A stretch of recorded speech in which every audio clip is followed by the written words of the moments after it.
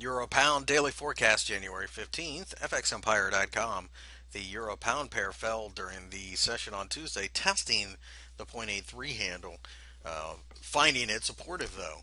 That being the case, on the other side of the candle, we see the 8350 level is resistive. So, quite frankly, uh, we really don't see much in this marketplace. And on top of that, it appears to us that um, we believe, you know, it appears to us and we believe that this market is going to do nothing. There's just far too many areas in resistance and support uh, that make this a difficult pair to be bothered with. If you want to trade the euro, the pound, we suggest maybe against the dollar or the yen.